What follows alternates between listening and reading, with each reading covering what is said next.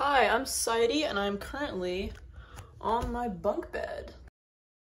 So, for those of you who don't know, I'm currently a university student, which means that 90% of interactions at social gatherings start with, So, what's your major? And when people ask me what I'm majoring in, they're usually surprised that I'm a math major.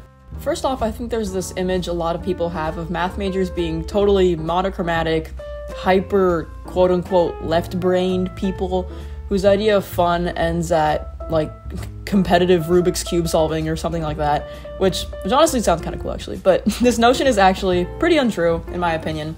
Going into college, I was scared that since I wasn't an art major, it would be hard to meet classmates who are also into the arts. It's kind of funny, but being in higher math classes in college can have a really similar vibe to being in an art class. You've got super cool, funky outfits, and I've met some insanely creative people through these classes. About a year ago, I attended this dinner thing with a few other math majors and a bunch of math professors from around the world, and I was so happy and excited to learn that almost every professor there was also an artist of some kind. You had composers, visual artists, poets, and there was even a postdoc mathematician who is also a trained ballerina and creates her own choreographies to express mathematical concepts and then gets them professionally filmed, which is just like one of the coolest things I've ever heard. I've always thought biology was super interesting, but something that's always bothered me about the idea of just going into biology is that it's only specific to a certain degree. And that's obviously not to critique the study of biology. I mean, that's a very necessary quality of that science, and it's a beautifully important science. But for example, you learn that certain biological processes take place, but not the physical fundamental reasons behind the processes. So that leads you to chemistry, which explains the chemical reactions and all that jazz behind the biological processes. But that's still not quite specific enough. So then you zoom in even closer, and that lands you at physics, which will explain why the molecules behave the way they do in chemical reactions. But you can still zoom in even further, move past all the measured science, and into a fundamental system of truths, which is essentially mathematics. And I think that's pretty cool. But something I really want to get across is don't feel like you can't be a math person just because you're an artist. The whole are you left brained or are you right brained thing is just plain out not true. I mean, your brains are crazy and awesome and fluid and always changing, so if you think something is interesting, just go for it. Don't put yourself into a little box and limit yourself from exploring things you're curious about just because you feel like you're not that kind of person, you know? Do things, explore. And honestly, you might even find some really cool connections between things you thought were very unrelated. And one of the best examples of that, I think, is math and art. Alright, that's pretty much it for my rant today, so now I'm gonna go into what's going on with this drawing. Thank you so much for sticking around. So the idea for this piece comes from me staring at my bunk bed and going, haha, what if there was water up there? So I took a picture of my bunk bed and started drawing based on that. Having a reference, especially when it comes to things like blankets, is so, so, so useful. And if you're able to find, or even better, create a reference image for yourself, I absolutely recommend that. Fabric can be very difficult to get right without the texture coming across as completely different materials or super stiff. At this point, what you're seeing me doing is some very low quality line art, just curious to see what it would look like over the piece so far. In the end, I decided I preferred it lineless, but I still might go back in the future and make a lined version.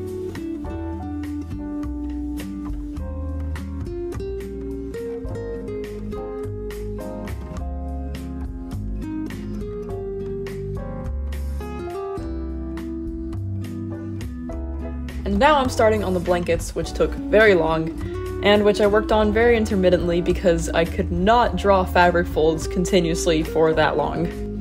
Around this point, I was thinking it might be really cool to add in some fish, not only because I love fish, but also two other reasons. First, it's a nice channel to introduce a contrasting color, and second, it's a really great way to hammer into the viewer that the substance on the top bunk is water and not some other material. I started off with just one little goldfish as a test to see if I liked the way the colors gelled with each other, and I did, so I made sure to come back to the fish idea after working some more on the blankets.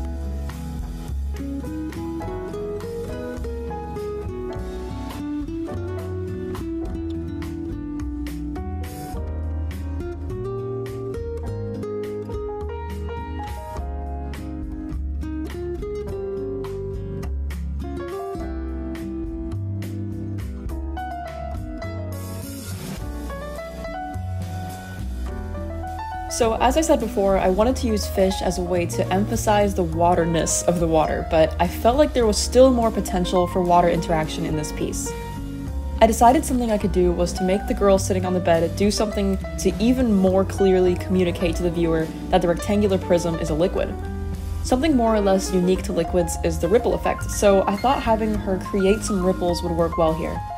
I decided to have her place the tip of her finger at the front face of the prism, making some nice water ripples.